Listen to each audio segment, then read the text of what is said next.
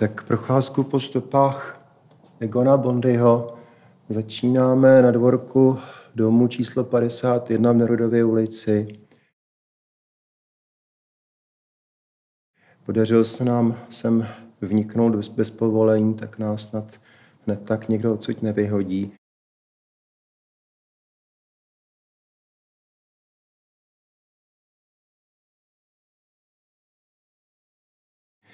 Je to, je to dům, kde Egon Bondy strávil víc než 20 let svého života. Je to adresa asi z těch jeho různých bydlišť nejznámější. Přestěhovali se sem s paní Julí na konci roku 71 a vlastně tady eh, žili ke konci potom 80. let už přestávkami, protože v létě bývali v Telči až do roku 94, až do vlastně smrti paní Julie, když potom v poslední době zase ona žila v Bratislavě.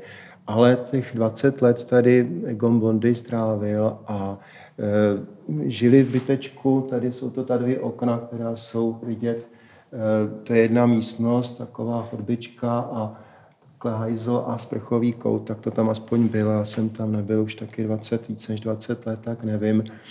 A e, sem za Bondym chodilo hodně lidí, byla ta adresa dosti, dosti známá, sem chodili jeho mladí přátelé z undergroundu, tehdy mladí, e, Martin Jiroz, Pavel Zajíček, později Petr Placák, Jákym Topol, Krchovský, spousty lidí. Chodili sem samozřejmě stébáci. E, myslím, že tady nebyla žádná velká domovní prohlídka, ale několikrát tu byl Bondy taky zadržený, takže byla to adresa, která byla dosti, dosti známá v prostředí českého disentu, českého undergroundu. Ten dům, eh, o něm sám Bondy se vícekrát ve svých textech zmiňuje, ve svých básnických textech i prozaických. Situoval jsem taky ty svoje texty pro děti z roku 76, pravdivé příšerné příběhy pro Lopatkovic holky, tedy pro dcery eh, literárního kritika na Lopatky, který bydlel tady nedaleko ve Vašské ulici. Eh, takže když se podíváme dolů na dvůr, tak je tam takový podivný vchod, tam jdou ještě schody dál na Janský vršek a úplně dole je místnost, která jeden čas sloužila jako Bondyho pracovna, vlastně sklepní, ale teda bez vody. A tam situoval byt požerače psů. Někde jinde tady přibýval, přibývala bytost, která říkala smrťounek a další příšery.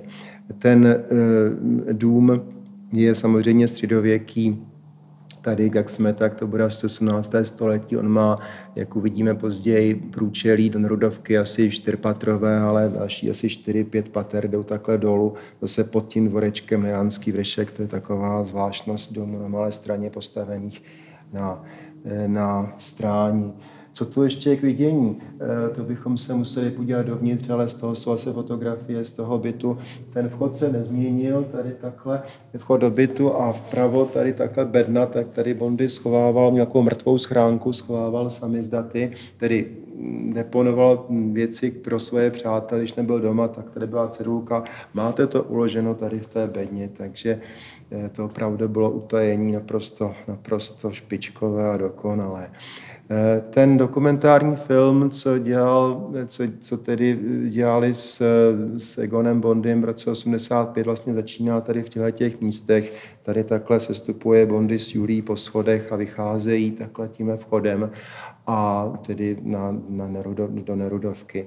Ještě k tomu té pracovně, tedy v vozovkách pracovně, kam se teda nedostaneme, tak eh, to je taková místnostka, aspoň tenkrát byla, podle ní napsal Bondy svoji sklepní práci v roce 73 a jeden čas tam taky, eh, to, ale krátce, asi jenom na týden, pronajal plastikům, taky myslím, že v roce 73 jako zkušebnu, protože už ten, tenkrát neměli kde zkoušet a proto taky ve svých příšerných příbězích potom říkal, že obyvatelé říkají tomu domu dom, dům hrůzy, protože plastici tady skutečně zkoušeli, taky na to někde vzpomínají, jak tam museli hrát takým způsobem, že stáli vedle sebe, protože už nemohli, no tak maličký, že se ani nemohli, nemohli na sebe podívat, takže stáli jako slepice na hřadě takhle, ale protože tam přece jenom ta izolace nebyla moc dobrá, tak ten hřmot se ozýval a e, tedy obyvatelé protestovali a řekli, že teda tudy ne, přátelé. A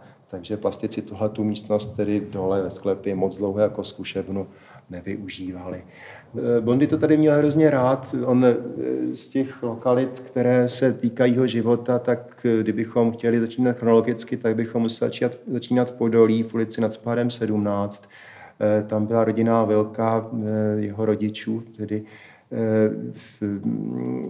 kterou dal postavit jeho otec plukovník Jan Fischer, někdy zřejmě v 20, koncem 20. let, 10 roce 1930 Zbigněk Fischer eh, narodil a kde prožil vlastně svoje dětství a mládí. A ten dům je zbořený, tam se třeba podíváme taky, abychom aspoň viděli tu ulici a tedy kde která se moc nezměnila. Pak jsou samozřejmě jsou to hlubočepy, kde tak jeden čas žil, tam už na přelomu 40. 50. let a potom 60. letech tam krátce bydlel, to miloval.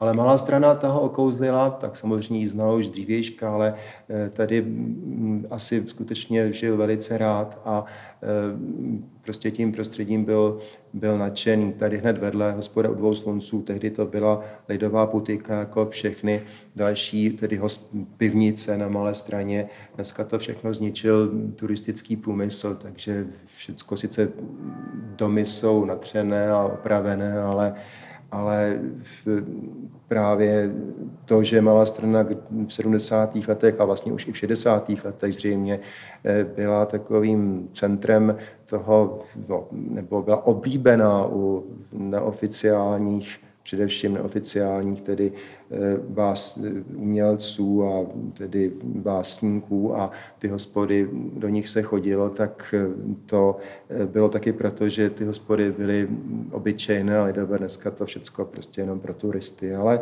máme štěstí, že tady sem se vlastně nedá normálně podívat. Ten dům bývá už v posledních letech pořád zamčený, takže se podařilo dostat se sem.